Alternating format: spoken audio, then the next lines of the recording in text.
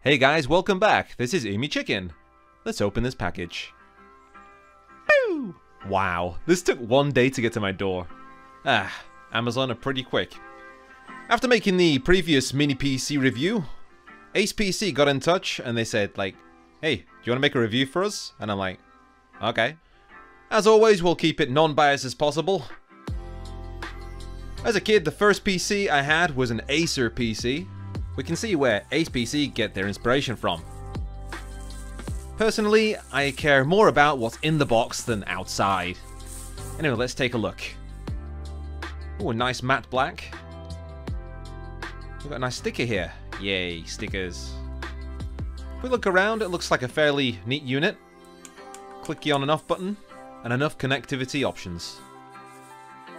All in all, it's not too heavy, it's not too light. It's just about right. Other things in the box, we get this warranty card. And, uh, manual.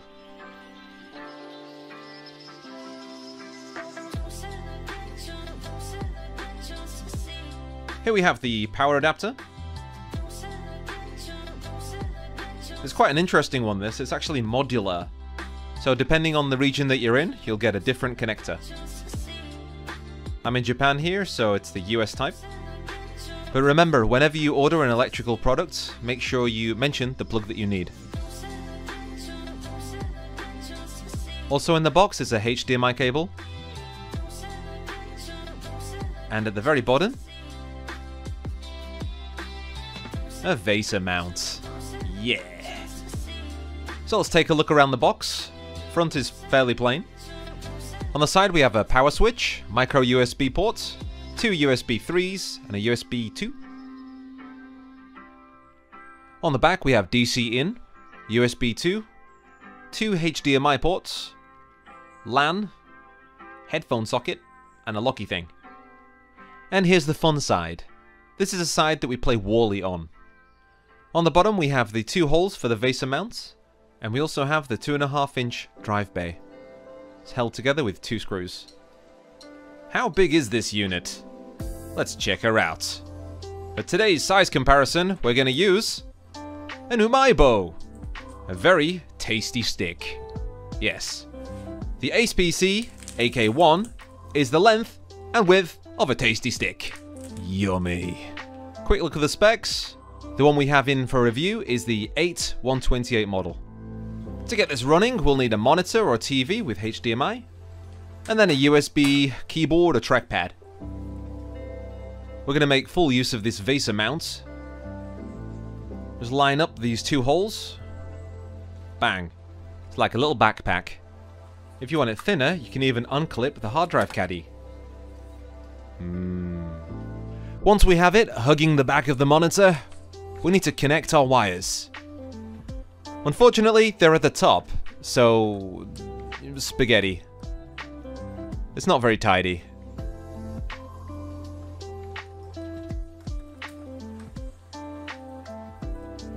When it's powered on, we get a nice blue light. And then when it's sleeping...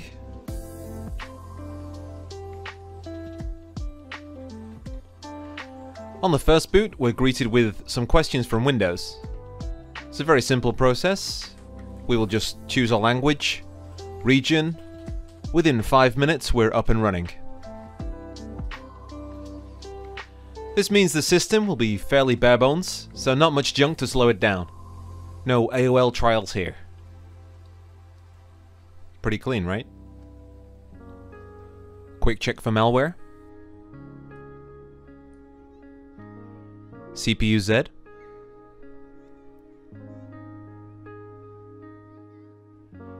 HW info shows that the temperatures are fairly cool. The computer itself is completely silent unless it's pushed, and even then it's very quiet.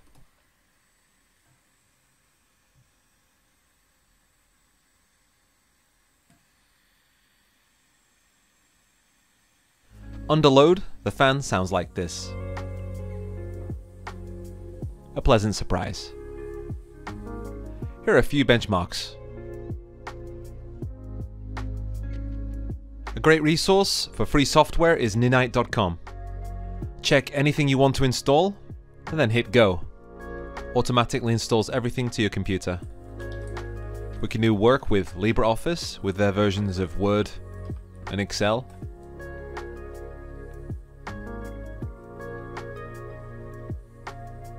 Or we can go online shopping. This little box can also handle YouTube at 4K.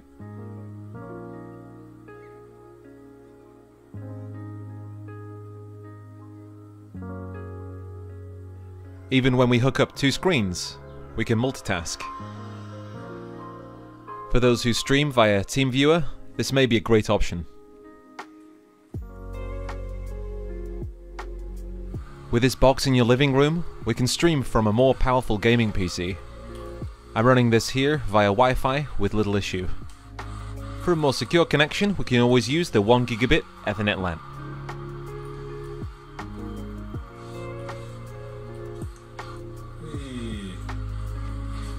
Not everyone has a gaming PC, so let's check out how well games perform on this box, unaided. Among Us.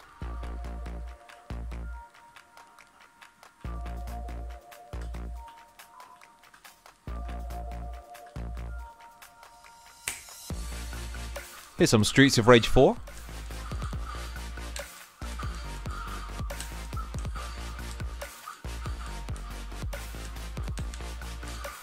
Pinball FX 2.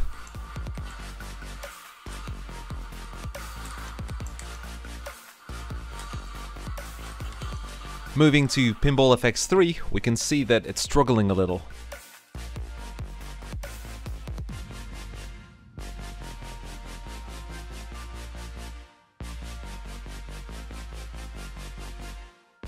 XCOM Chimera Squad. Moving to emulation, here's Dead or Alive 2 on Redream.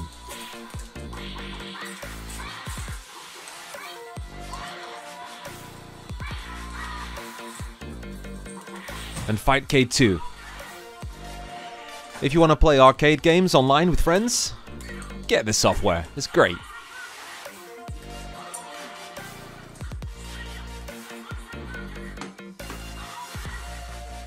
We can use a 2.5 inch SSD within this drive bay.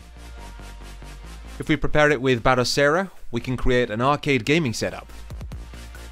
Doing this you don't need to install anything onto Windows, which can keep the main system light enough for work.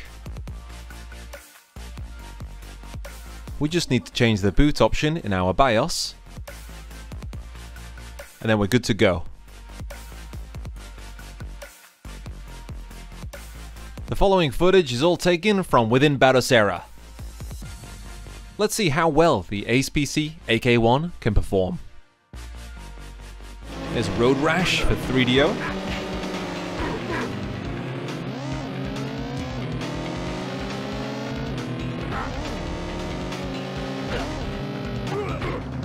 Turrican 2 on the Commodore Amiga.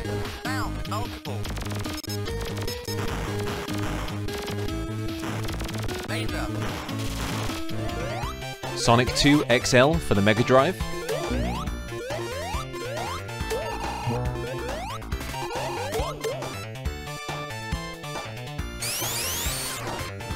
Saturn Bomberman for the Saturn.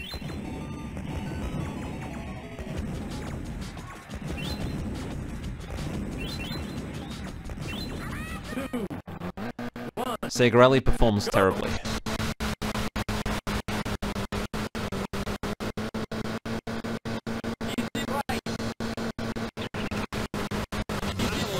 Soul Calibur, Dreamcast.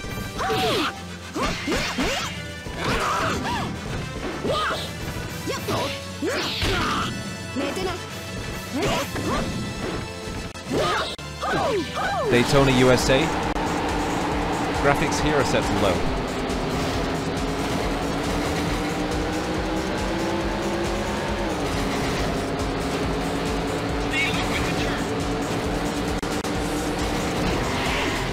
Here's Capcom versus SNK2 for Naomi.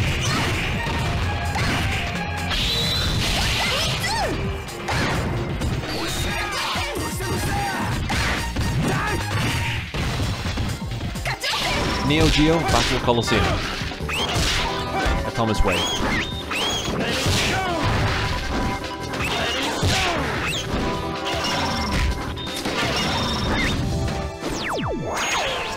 Daytona USA 2 on the Model 3.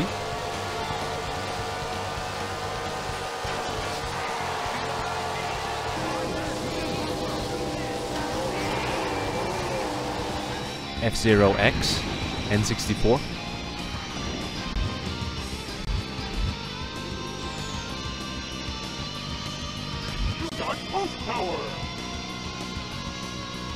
Cruis'n USA.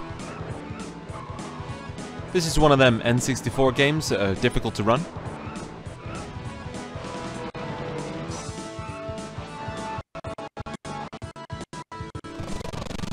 F-Zero GX. Nintendo GameCube.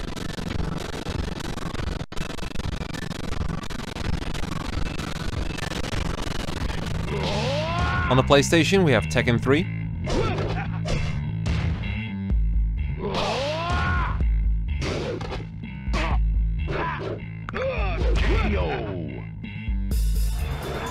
One of my favorites, Outrun 2006, Coast to Coast. We have mostly full speed here, with the occasional hiccup. How far are you going to take me?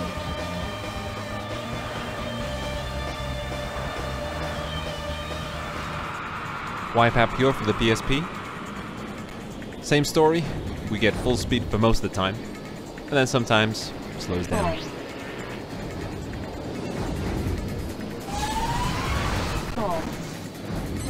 While most of the games work really well on MAME, 3D games such as Tekken 3 do chug a little.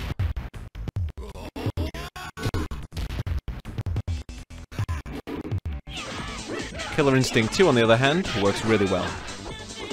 Solid 60 FPS.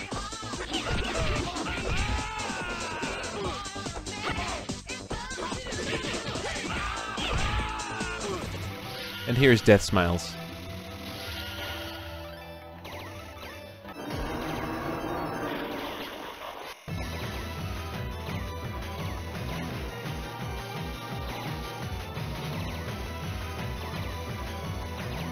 As it's a mini PC, we can also get Mugen running.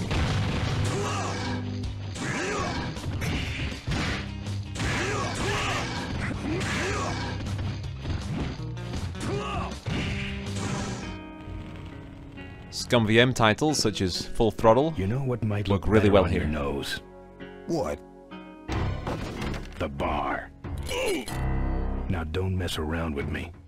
All right, all right. MS-DOS titles such as GTA work fine here too.